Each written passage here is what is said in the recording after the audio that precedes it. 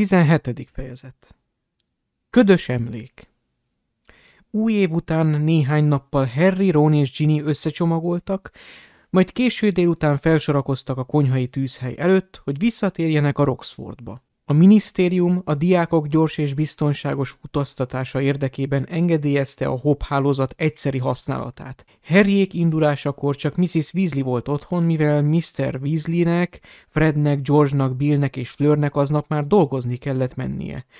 Az asszony zokogva búcsúztatta a gyerekeket, igaz, az eféle elérzékenyülés másfél hete rutinszerű volt nála. Lépten nyomon elsírta magát azóta, hogy Percy karácsonykor paszternák arcpakolásban viharzott ki a házból, amiért Fred, George és Ginny versengve vállalták a felelősséget. Ne sírj, anya! veregette meg Ginny a vállán zokogó Mrs. Weasley hátát. Nincs semmi baj, nem kell aggódnod értünk, tette hozzá Ron, és megengedte, hogy anyja egy nedves csókot nyomjon az arcára. Percyért meg nem érdemes, ha egyszer ekkora bunkó. Mrs. Weasley most Harryt zárta a karjába. Igen, meg hogy vigyázol magadra. Kérlek, ne keresd a bajt. Mindig vigyázok magamra, Mrs. Weasley. Mosolygott Harry, hiszen tudja, a csendes, nyugodt életet szeretem. Az asszony erőtlenül nevetett, majd hátra húzódott. Legyetek jók! Harry belépett a smaragdzöld tűzbe, és elkiáltotta magát. Roxford! Még egy villanásnyi ideig látta az odú konyháját, és Mrs. Weasley könnyáztatta arcát, aztán a lángok körülzárták őt. Teste pörögni kezdett, más varázslóházak helyiségei bukkantak fel a szeme előtt, majd mind el is tűnt újra, mielőtt alaposabban megnézhette volna őket. Aztán a pörgés lassulni kezdett, s mikor megállt, Harry meggalagony professzor dolgozószobájának kandalójában találta magát. A tanárnő az asztalánál ült, dolgozott, és épp csak egy futó pillantást vetett Harryre. Jó estét, Potter! Kérem, ügyeljen rá, hogy ne hordja ki a hamut a szőnyegre. Igyekszem, tanárnő. Mire Harry megigazította a szemüvegét és lesimogatta a haját, már fel is bukkant a kandalóban Ron. Bevárták Ginnyt, majd együtt kisonfordáltak meggalagony szobájából, hogy a Gryffindor torony felé vegyék útjukat. Menet közben Harry a folyosó ablakokon át a tájat nézte, a nap már alacsonyabban járt a Roxforti birtok fölött, melyen a hótakaró még vastagabb volt, mint az odú kertjén. A távolban a vadőrlak tűnt fel, előtte Hagriddal, aki épp csikócsört etette. Csörgősipka, szólt magabiztosan Ron, mikor a torony bejáratához értek. A kövér dáma, aki szokatlanul sápat volt, összerezzent a hangos szóra. Nem, felelte erőtlenül. Mi az, hogy nem? Új jelszó van? mogyogta a dáma. És légy szíves, ne kiabálj. De hát nem voltunk itt, honnan tudhatnánk? Harry, Ginny! Hermione sietett feléjük köpenyben, sapkában és kesztyűben, a hidegtől kipirult arccal. Én már néhány órája itt vagyok, zihálta a lány. Most jövök Hagridtól és Csikó, mármint Szilajszárnytól. Hogy telt a karácsony? Jól, vágta rá Ron. Eseménydús volt. Rufus Scream, át kell adnom valamit, Harry. Hermione úgy vágott Ron szavába, mintha nem látná és nem is hallaná őt. Ja, egy pillanat, a jelszó abstinencia. Úgy van, lehelte elhaló hangon a dáma, és kitárta a bejáratot. Mi baja van? csodálkozott Harry. Egy kicsit túllőtt a célon karácsonykor, magyarázta Hermione. Violet barátnőjével benyakalták az összes bort a részek szerzeteseket ábrázoló képben, lent a bűbájtan teremnél. Na de várj! Kotorászni kezdett a zsebében, majd előhúzott egy pergamentekercset Dumbledore kézírásával. De jó, örvenezett Harry. Gyorsan kibontotta a levelet, amelyből kiderült, hogy másnap este lesz a következő külön órájuk Dumbledore-ral. Rengeteg mindent kell elmondanom neki, és neked is. Gyere, üljünk le! Ekkor azonban fülsértő von-von kiáltással előbukkant a semmiből Lavender Brown, és Ron nyakába vetette magát. A jelenlévők közül többen kuncogtak. Hermione csilingelve felnevetett, majd ismét Harryhez fordult. Van ott egy üres asztal, gyere te is, Ginny. Nem, kösz, én megkeresem Dint, felelte a lány, Harry megítélése szerint nem túl lelkesem. Miközben Ron és Lavender aféle álló birkózásba kezdtek, Harry a szabad asztalhoz vezette Hermionét. Neked hogy telt a karácsonyod? Hermione vállat vont. Jól, nem volt semmi különös. Milyen volt vonvonéknál? Mindjárt elmondom, bolintott Harry. De figyelj, Hermione, nem lehetne, hogy... Nem lehetne! Vágta rá keményen a lány. Úgyhogy ne is kéri rá. Gondoltam, talán a szünetben. A kövér dáma ivott meg egy hordó 500 éves bort, nem én, világos? Na ki vele? Mi az a fontos dolog, amit el akarsz mondani? Úgy tűnt, Hermione pillanatnyilag nem vevő az észérvekre, úgyhogy Harry félretette a Ron témát, inkább beszámolt Malfoy és Piton beszélgetéséről. Miután végzett, Hermione még néhány másodpercig töprengett a hallottakon. Arra nem gondoltál, hogy hogy Piton cselből ajánlotta fel a segítségét, mert ki akarta szedni Malfoyból, miben mesterkedik? Hát, igen.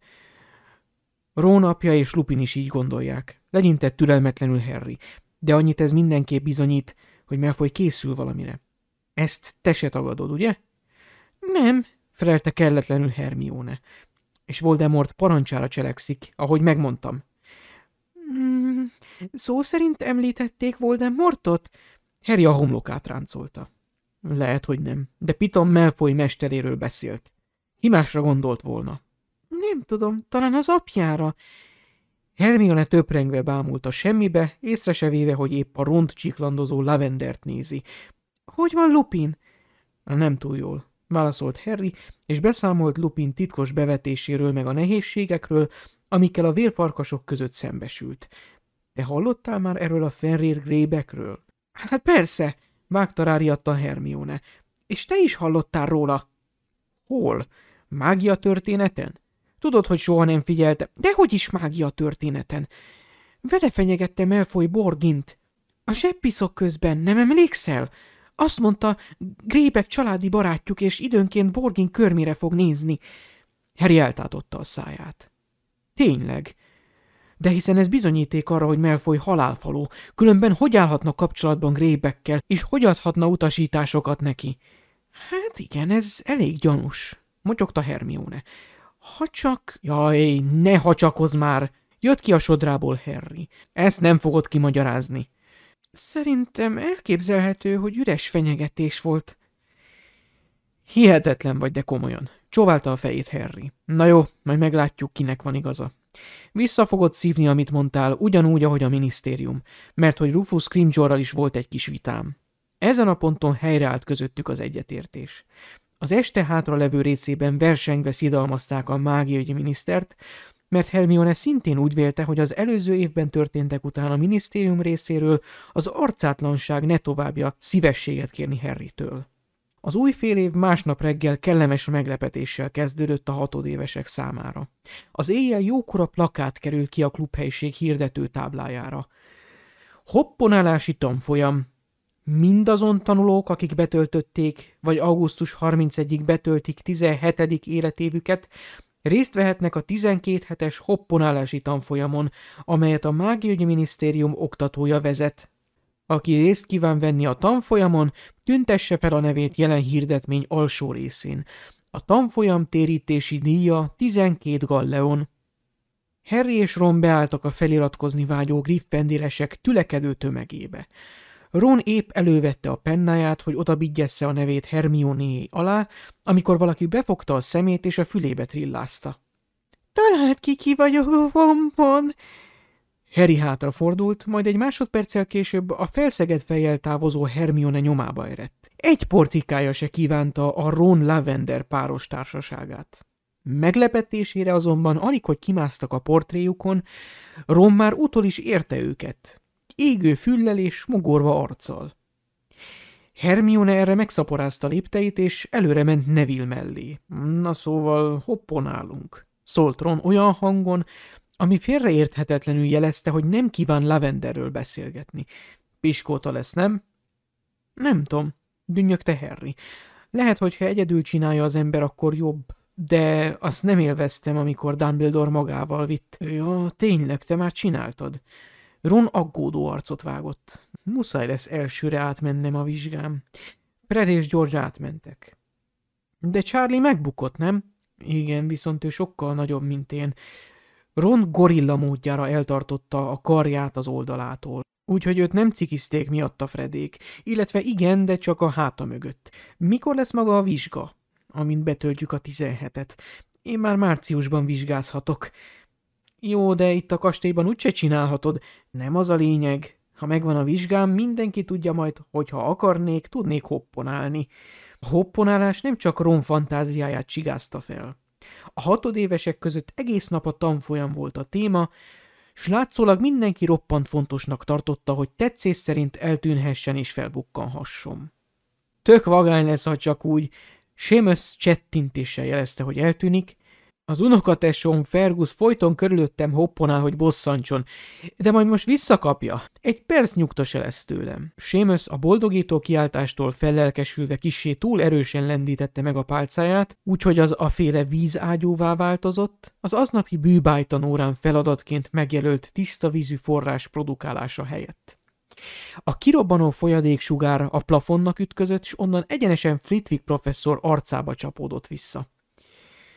Harry már hopponált egyszer, közölte Ron, miután Flitwick egy pálcaintéssel megszárította magát, a megszeppen sémözt pedig a varázsló vagyok nem hadonászó pávián mondat sokszori leírására ítélte. Dumb, öm, valaki magával vitte, társas hopponálással, tudod. Azt a... suttogta Sémösz. Ő, Dean és Nevin rögtön közelebb hajoltak Harryhez, hogy kifaggassák, milyen érzés hopponálni.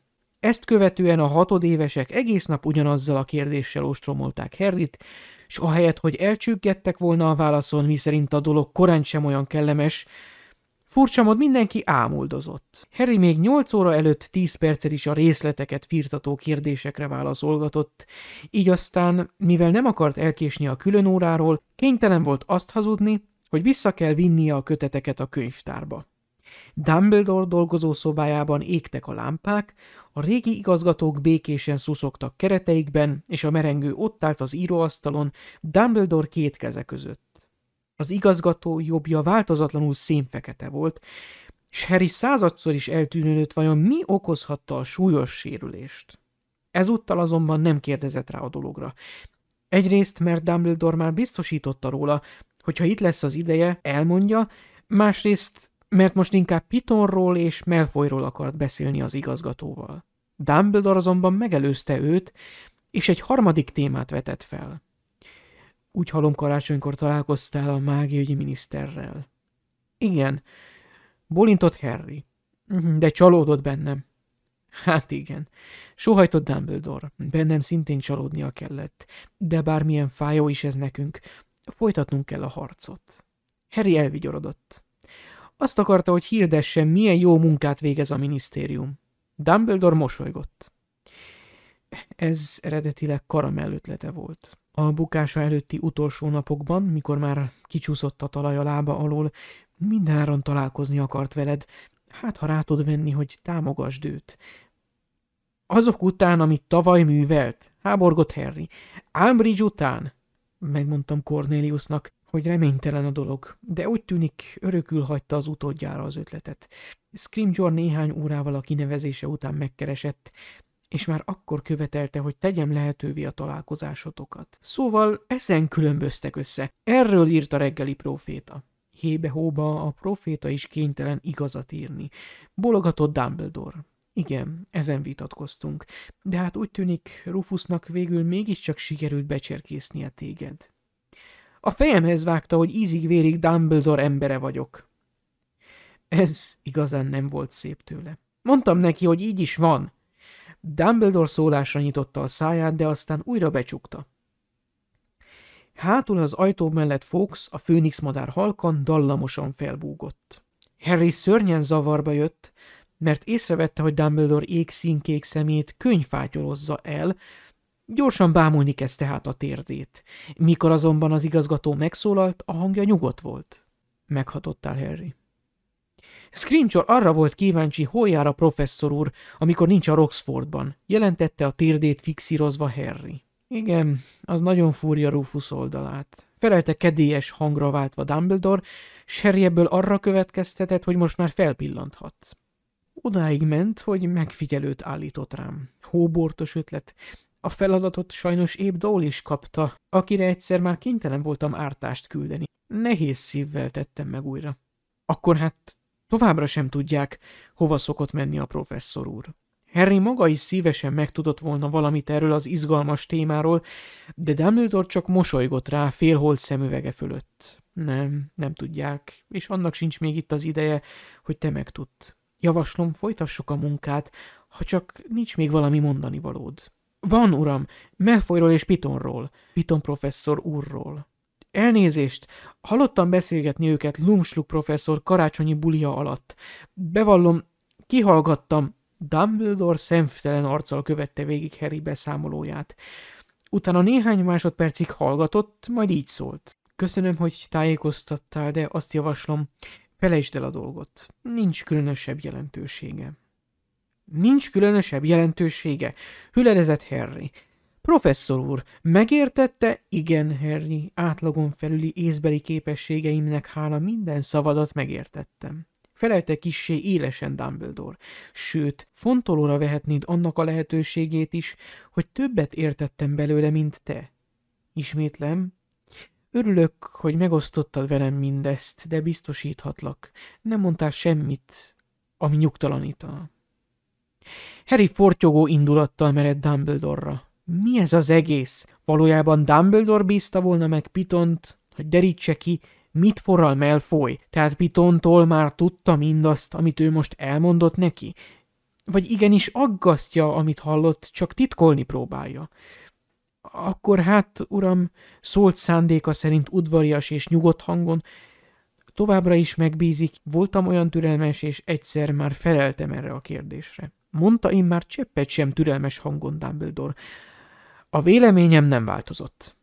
Remélem is, szólt közbe egy undok hang. Finász Nigeluszé, aki ezek szerint csak tettette, hogy alszik.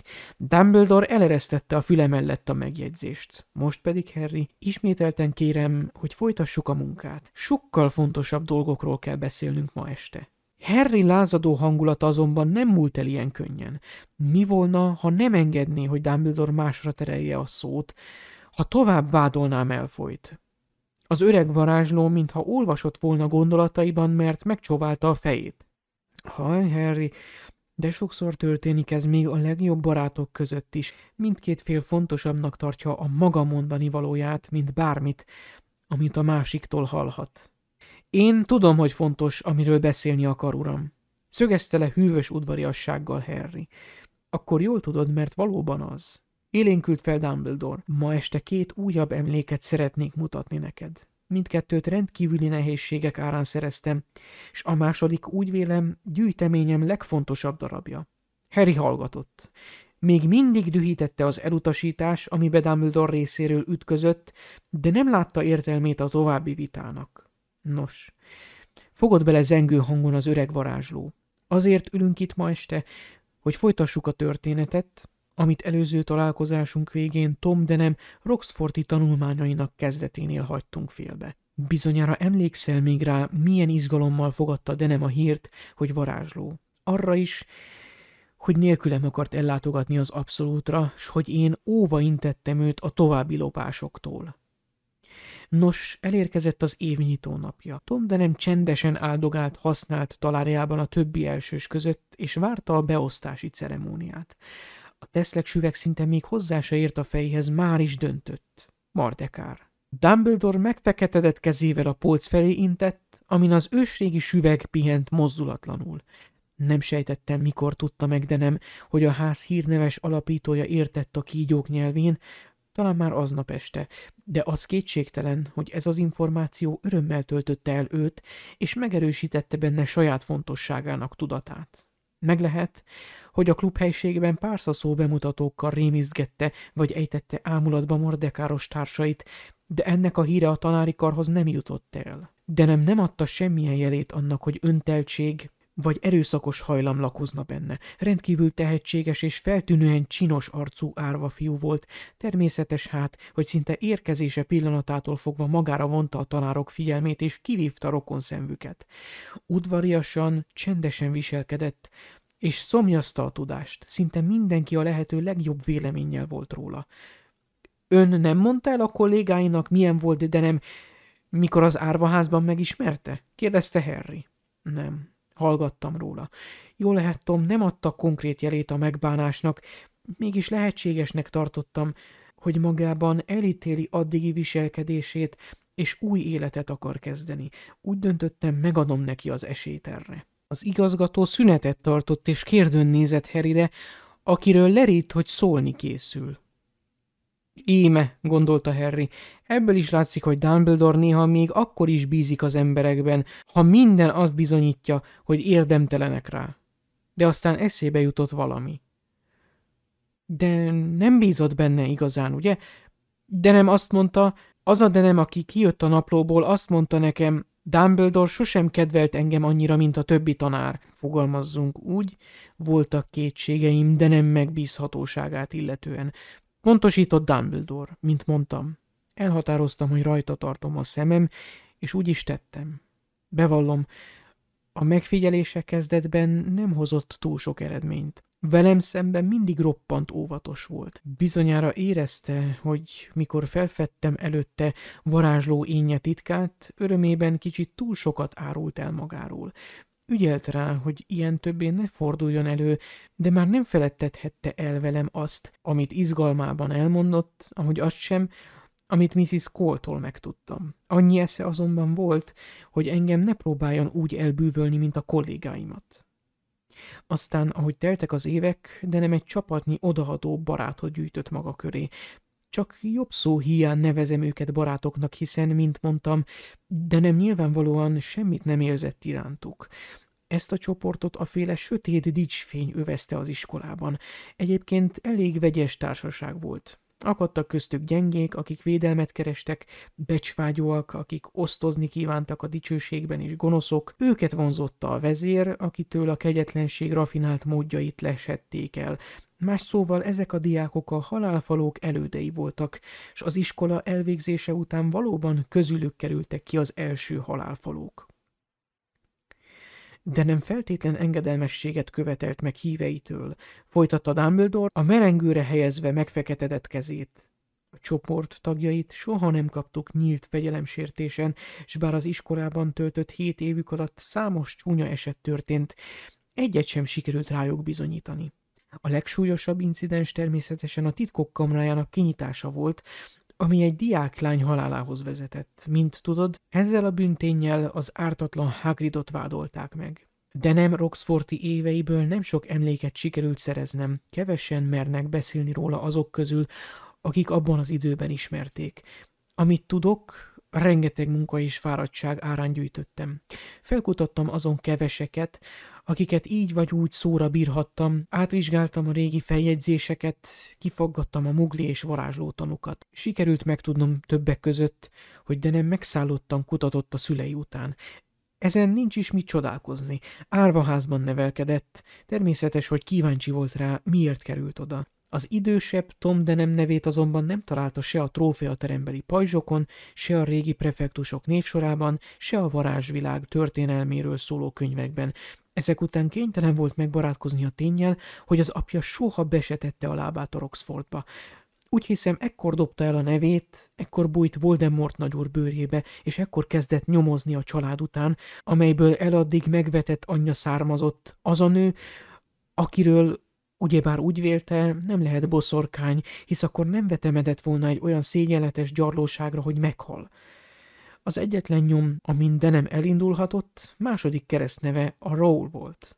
Folytatta Dumbledore. Az árvaházi dolgozóktól megtudta, hogy anyai nagyapját hívták így. Kutatni kezdett a varázsló családokról szóló régi könyvekben, s nem kevés munka árán végül rábukkant Mardekár leszármazottaira.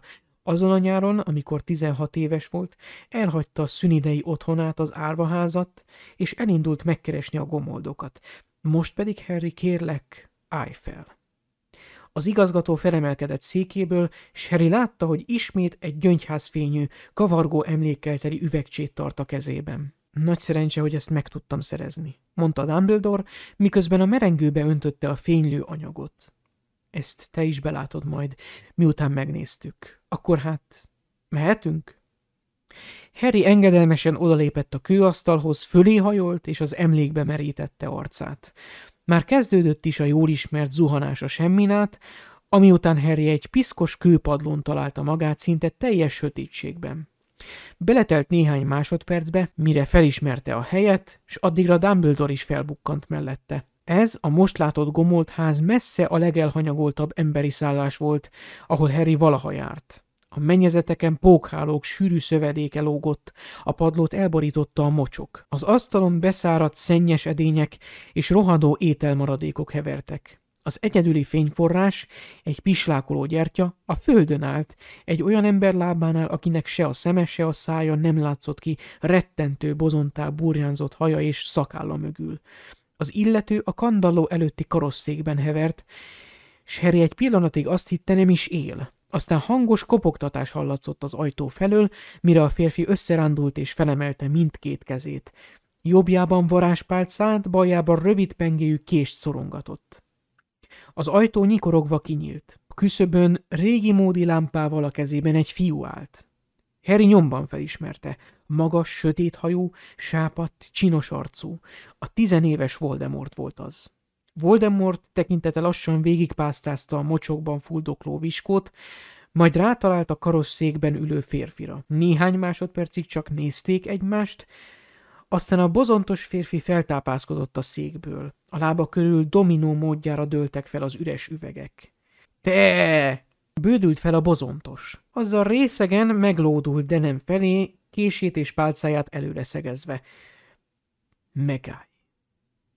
De nem párza szóul beszélt. A férfi neki tántorodott az asztalnak, amitől néhány penészlepte tányéra padlón kötött ki, és rábámult Denemre. Egy darabig megint némán nézték egymást. Végül a bozontos törte meg a csendet. Beszéled a nyelvet? Igen, beszélem. Felelte Denem. Belépett a helységbe, és elengedte az ajtót, ami becsukódott mögötte. Harry kénytelen volt elismeréssel adózni neki bátorságáért. A fiatal Voldemort arcán nyoma sem volt félelemnek, csak undor és talán némi csalódottság ült rajta. Hol van Ról? kérdezte. Meghalt, felelte a másik. Sok-sok éve. De nem összevonta a szemöldökét. Akkor te ki vagy? Hát Morfin.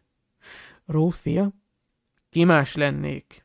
Morfin félresöpörte arcából csimbókos haját, hogy jobban lássa Denemet, s a mozdulat közben Harry megpillantotta ujjánról fekete köves gyűrűjét. Azt hittem, az a mugli vagy, suttogta Morfin. Kiköpött olyan vagy, mint az a mugli. Miféle mugli? kérdezte élesen Denem. Az a mugli, amelyikre a hugomnak gusztusa támadt, az, amelyik odaállt a nagyházban lakik, felelte Morfin, és megvetően kiköpött. Pont úgy nézel ki, mint az, csak de nem öregebb, hát persze ő sokkal öregebb, mint te. Morfint hirtelen szédülés fogta el. Meg kellett kapaszkodnia az asztal szélében. Mert hogy visszajött, motyogta sután. Voldemort még egy lépést tett előre, és közben tűnődve fürkészte Mortint. De nem visszajött? Vissza bizony, ott hagyta a hugomat. Úgy kell Miropnak, minek lett egy mugli szukája. Morfin megint a padlóra köpött. Még meg is lopott minket, mikor elszökött. Hol, hol a nyaklánc? Hol van Mardekár medálja? Voldemort nem válaszolt. Morfin megint belelovalta magát a dübe, rázta a kését és ordított. Szégyent hozott ránk a kis ringyó, és te meg ki a fene vagy, hogy jössz kérdezősködni. Elmúlt. Régen van. Morfin kissé megingott, és elfordította a fejét. Közben Voldemort megindult felé. Ekkor természetellenes sötétség borult a szobára, kioltva Voldemort lámpáját, morfin gyertyáját, mindent. Dumbledore ujjai szorosan ráfonottak Harry karjára, s már repültek is vissza a jelenbe. Az áthatolhatatlan sötétség után Harrynek szúrta a szemét az igazgatói szobát betöltő lágy, aranyló fény. Ennyi az egész? kérdezte rögtön Harry. Mi történt? Miért lett sötét? Azért, mert Morfin nem emlékezett rá, mi történt ezután.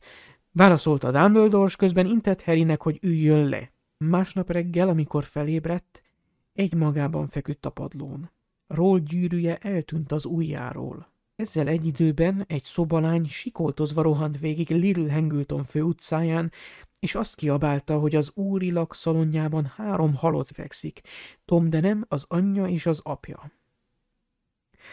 A mugli hatóságok tanácstalanok voltak. Tudomásom szerint mind a mai napig nem is sejtik, hogyan haltak meg denemék, hiszen az Avada Kedavra átok rendszerint nem hagy külsérelmi nyomot, ha bár itt ül előttem az, akin hagyott. Tette hozzá Dumbledore, Harry sebb helye felé biccentve. A minisztérium emberei ellenben rögtön rájöttek, hogy varázsló a gyilkos. Azt is tudták, hogy a völgy túloldalán lakik egy megrögzött mugli gyűlölő, akit egyszer már bebörtönöztek, amiért rátámadt a hármas gyilkosság egyik áldozatára. Így hát a varázsbűn üldözési kommandó emberei felkeresték Morfint. Nem kellett keresztkérdéseket feltenniük, nem volt szükség se veritásírumra, se legilimenciára. Morfin azonnal bevallotta a gyilkosságot, és olyan részleteket közölt, amelyeket csak a tettes ismerhetett. Azt mondta, büszke rá, hogy megölte a muglikat. Évek óta tervezte, hogy megteszi. Átadta a pálcáját, amiről ott helyben kimutatták, hogy azzal ölték meg deneméket. A legcsekélyebb ellenállást sem tanúsította, mikor letartóztatták és az Azkabanba vitték. Csak egy dolog zaklatta fel, hogy eltűnt az apja gyűrűje. Egyre azt ismételgette, megöl, amiért elvesztettem, megöl, amiért elvesztettem a gyűrűjét. Tudtommal más nem is mondott ezután. Élete hátralévő részét az Azkabanban töltötte, és mindvégig az utolsó családi erekje eltűnésén kesergett. Most a börtön mellett nyugszik, akár csak a többi szerencsétlen, aki ott lehelte ki a lelkét. Harry kihúzta magát ültében. Tehát Voldemort ellopta és használta morfin pálcáját? kérdezte. Igen, erről nem rendelkezünk emlékkel, de azt hiszem egyértelmű, mi történt. Voldemort elkábította a nagybátyját, magához vette a pálcát, és átment a völgyön túli nagyházba. Ott megölte a gyűlölt muglit, aki elhagyta az ő boszorkány anyját, és ráadásul még a nagyszüleivel is végzett. Kiírtotta tehát a hozzá méltatlan denemeket, valamint bosszút állt az apán, aki sosem tekintette őt a fiának. Utána visszatért gomoldék kunyhójába, összetett varázslattal beültette a hamis emléket nagybátyja elméjébe, a gyilkos pálcát letette alélt tulajdonosa mellé, majd magához vette a régi gyűrűt, és távozott. Morfin nem is jött rá soha, hogy nem ő a gyilkos? Nem. Felelte Dumbledore. Mint mondtam, minden részletet ismert, és még dicsekedett is vélt tettével. De hát végig megvolt a fejében ez az igazi emlék. Így igaz, de ezt csak felettébb ügyes legilimenciával sikerült kicsalogatni belőle. Miért kutatott volna bárki is morfin elméje mélyén, ha egyszer beismerő vallomást tett? Én magam sokkal később, élete utolsó heteiben jutottam el hozzá. Miután láttam az emléket, megpróbáltam elérni, hogy kiengedjék morfint az Azkabanból, a szerencsétlen azonban még a minisztériumi döntés megszületése előtt meghalt. De hát hogy, hogy nem jött rá a minisztérium, hogy Voldemort az igazi tettes? Háborgott Harry. Akkor még kiskorú volt, nem? Úgy tudom, ki tudják mutatni, ha egy kiskorú varázsol. Csak magát, a varázs cselekményt tudják kimutatni, a végrehajtóját nem. Emlékezz csak, egyszer egy lebegés bűbáj kapcsán a minisztérium téged gyanúsított, pedig az elkövető valójában Dobby volt. Vágta rá bosszusan Harry. Ez az igazságtalanság fájdalmas emlékként élt benne. Tehát ha az ember kiskorú és egy felnőtt boszorkány vagy varázsló házában használja a pálcáját, akkor azt a minisztérium meg se tudja? Nem tudják megállapítani, ki végezte el a varázslatot. Dumbledore mosolygott Harry méltatlankodásán. Kénytelenek arra hagyatkozni, hogy a varázslószülők otthon ellenőrizni tudják gyermekeiket. De hát ez borzalmas, csattant fel Harry. Mit ér az ilyen igazságszolgáltatás? Hát igen, bólogatott Dumbledore. Hiába volt Morfin olyan, amilyen nem érdemelte meg ezt a sorsot, hiszen a gyilkosságokat nem ő követte el, no de későre jár, és még meg akarom mutatni neked ezt a másik emléket. Dumbledore újabb kristályüvegcsét vett elő, kinyitotta, és a merengő fölé tartotta. Harrynek eszébe jutott, hogy az igazgató gyűjteményen legfontosabb darabjának nevezte ezt az emléket. Az ezüstös anyag nehezen folyt ki az üvegből, mintha kissé besűrűsödött volna. Lehetséges volna, hogy egy emlék megromoljon? Nem lesz hosszú. Ígérte Dumbledore, miután végzett az áttöltéssel. Egy-kettőre visszatérünk. Induljunk hát. Harry ismét az ezüst tóba merítette arcát. Átzuhant a semmin, és földet érve egy ismerős férfi társaságában találta magát. Horácius Lumsluk volt az, sokkal fiatalabb kiadásban. Harry annyira megszokta a varázsló tarfejét, hogy egészen abszurdnak érezte most drótszerű, szalmaszőke hajjal látni őt. Olyan volt, mintha Lumsluk parókát viselne, bár a feje búbján már ott világított egy pénzérme nagyságú kopasz volt. A jelenleginél valamivel rövidebb és ritkább bajusza vöröses szőke volt, és a hasa se dudorodott még annyira, bár így is alaposan próbára tette gazdagon himzett mellényének aranygombjait. Lumsluk kurta lábait bársony zsámolyon pihentetve, egy kényelmes karosszékben terpeszkedett. Egyik kezében kis pohár bort tartott, a másikkal egy doboz cukrozott ananászból szemezgetett.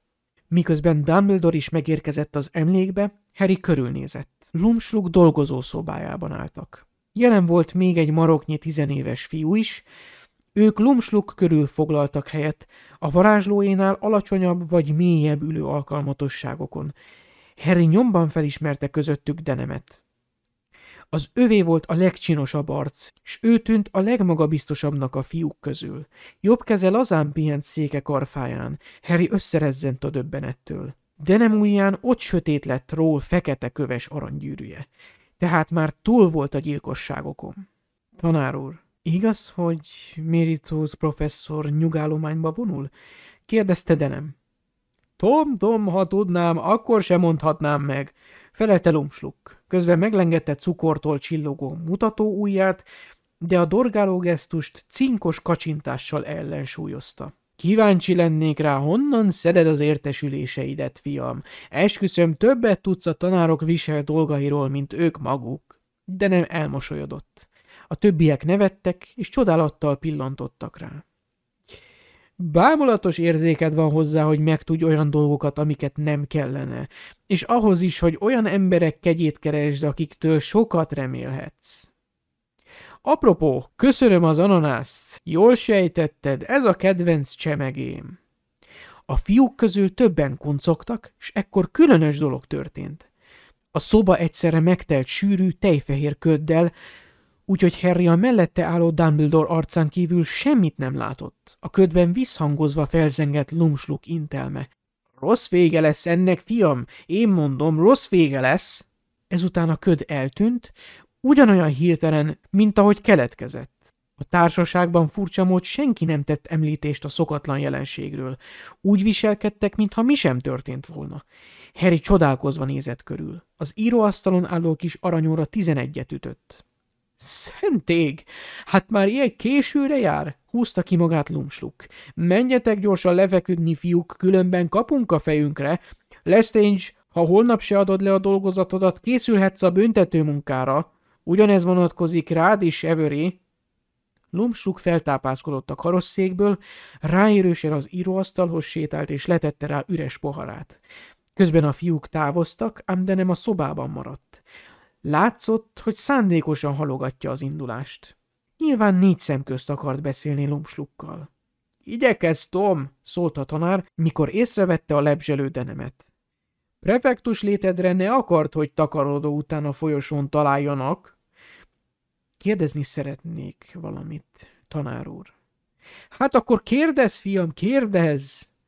Arra lennék kíváncsi, hogy mit tud a tanár úr a horcruxokról. Ekkor megismétlődött a különös jelenség. Jött a sűrű köd, elnyelte Lumslukot, Denemet, az egész szobát, s Harry csak a derűsen mosolygó Dumbledore-t látta. Ismét felharsant Lumsluk hangja, ugyanúgy, mint az előző alkalommal. Semmit se tudok a horcruxokról, és eszem ágában sincs beszélni róluk, most pedig eredj lefeküdni, és erről egy szót se halljak többet. Ez a vége. Szólt higgadtan Dumbledore. Indulhatunk is vissza.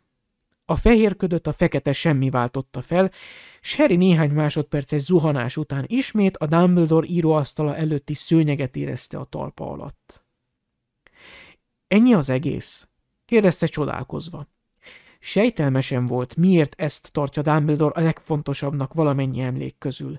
A köd valóban furcsa volt, meg az is, hogy látszólag senki nem vette észre, de különben nem történt más, mint hogy de nem feltette egy kérdést, amire nem kapott választ. Bizonyára észrevetted, szólt Dumbledore, miközben visszasétált az íróasztala mögé, hogy az emléket manipulálták. Manipulálták? Hát persze. Lumsluk professzor módosította a saját emlékezetét. De hát miért? Felteszem azért, mert szégyelli, ami történt. Felelte Dumbledore. Igyekezett úgy átalakítani az emléket, hogy az jobb színben tüntesse fel. Lényegében elhomályosította azokat a részeket, amelyeket titkolni kíván előlem. Mint láttad, meglehetősen felületes munkát végzett, és ez nem is baj, mert így biztosra vehetjük, hogy a módosított emlék mögött megőrződött az eredeti is.